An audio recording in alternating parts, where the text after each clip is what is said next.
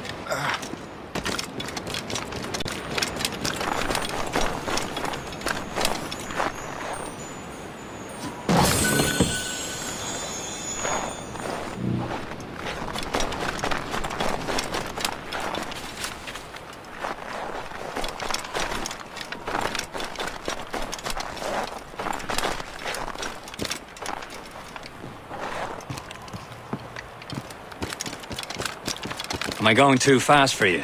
I'm just keeping an eye on you, in case you fall down and hurt yourself.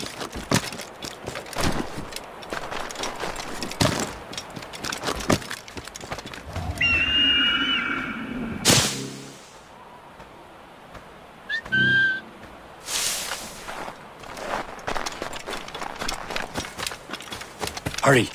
We best not keep Chevalier waiting. I'm saucy kinda. Hold it together, men! We will find a way off this island.